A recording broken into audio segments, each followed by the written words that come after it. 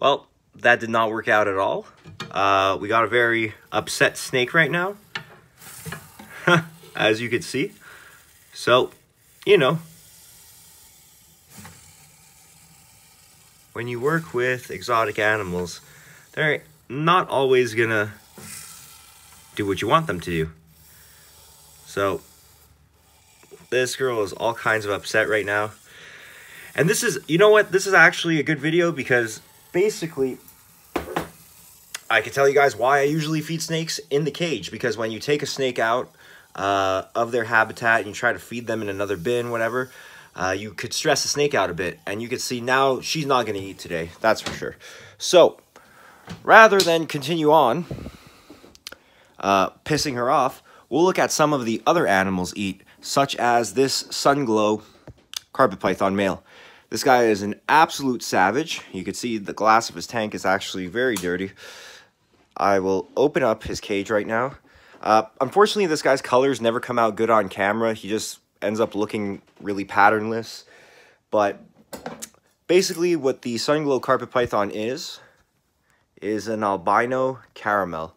Caramel, which is the co-dominant phase, and albino is the recessive. So, let me grab him a rat. I'll see if I could get close to him without him taking a bite out of me. Let's approach his rat here. He's gonna hit hard and fast. Or is he? Well.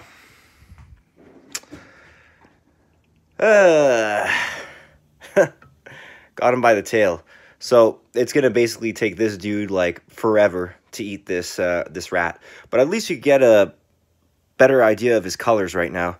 So a lot of people actually find regular albinos to be nicer looking than the uh, the Sunglow, the caramel albinos, because basically a lot of the contrast gets washed out. It's a basic, basically it's an orange and yellow snake, and the white um, kind of is more of a, a faded orangey color on these guys. So you guys could really, and like he shed recently, so this is like usually as good as he's going to look. But from far away, he just looks completely yellow, basically. All right, we'll feed more carpet pythons. My God, that poor rat. He looks like he's in absolute agony. He don't feel a thing, though, because he's frozen. Or he was frozen. Now he is thawed. Let's feed our... Jesus Christ. Our jaguar. Our uh, jungle jag female here. You gotta love those... Uh, those blue tongues of carpet pythons. One of the few things I don't like about the Sunglow is that because he is an albino, he has a pink tongue instead of a blue tongue. So let's see if I could do a better job at getting the right end into her mouth here. There you go. Okay, so a lot of people, um, they wonder why we feed frozen thawed, and it's just basically because, you know, it's easier to sell snakes after. Some people don't want to feed live. Also, um, there's zero risk, and there it is. The zebra is in shed right now, so we ain't going to feed her. Uh, but yeah, there's 0% risk uh, that the snake will be harmed by a dead rodent, obviously. So, you know, when you have snakes in your collection that costs uh, a couple hundred dollars up to, you know, a couple grand, you don't want to end up uh, having a rat kill the animal. And yes, people say, you know, so you got to supervise, but you know, a rat's fast. If it's to bite your snake or injure your snake, it's to do it before you probably have a chance to grab it. And you're also putting yourself at risk because let's say you try to intervene, the snake could bite you, the rat could bite you, the rat could jump out of the cage. It's really just a disaster. Um, so, you know, again, this rarely happens. Typically, you're going to feed alive and the snake is going to grab it instantly. And uh, that's that. But there have been instances that I've heard of where people have snakes that end up being injured, uh, some even fatally wounded by rodents. So no need to take the risk because feeding frozen is just so easy.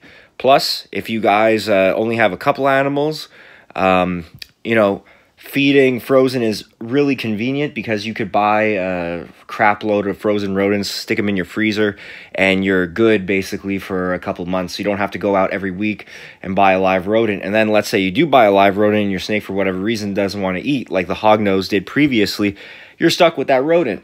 So, to me, feeding frozen is just way too easy. Why feed live? There's no point. Plus, what am I going to do? I'm going to narrate over a snake killing, uh, killing another animal? Come on, guys. All right. Here we go. Uh, our albino hognose female. This is just a regular albino, no anaconda in it. Very nice looking. Uh, this is a high red. So let's see if she's willing to take. This girl always eats very well, so. And she missed. These hognoses, they have these little tiny mouths, so sometimes it's hard for them to actually grab onto their preys. But what a gorgeous animal, as you can see here. Uh, I've said this in many videos before, but I'm just a huge fan of contrast, and you can see this animal, like the red really pops out from her background color. Cool looking little snake there. And uh, we'll show one more, and then I guess it'll be, that'll be it for the day, guys. Or actually, we'll show, we'll show two more, if we can. So, another hognose here. This is just a regular anaconda. And let me search through the frozen rodent soup here. See if I can find the other adult mouse. Is that it? Mm. This one was probably meant for her because she's smaller, but anyways. Whoa. Oh boy.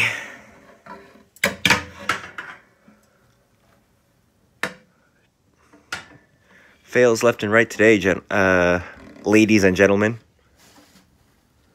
And you can see. There you go. I probably missed that completely. I probably shouldn't even post this, but I will anyways. Screw it. So, there you go. This is a nice uh, Zoo Med cage with a sliding top. Uh, it does get stuck sometimes, but other than that, uh, I like it because it has this nice little pin here that goes in the hole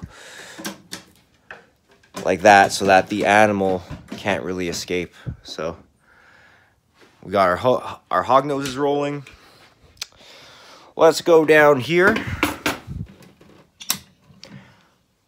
This is our last female baby rhino rat snake.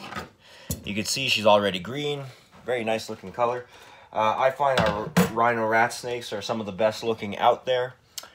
There are uh, rhino rat snakes that will get a little bit more of a a brighter green color, but I really like the uh, the turquoise animals that we that we have and that we produce.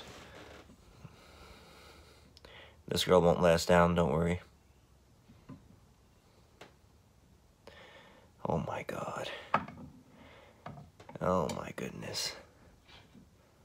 Well, that's the video, guys. Take care. Subscribe. I'll have more coming. And, uh, man, hopefully the next one won't be a train wreck like this one. See ya.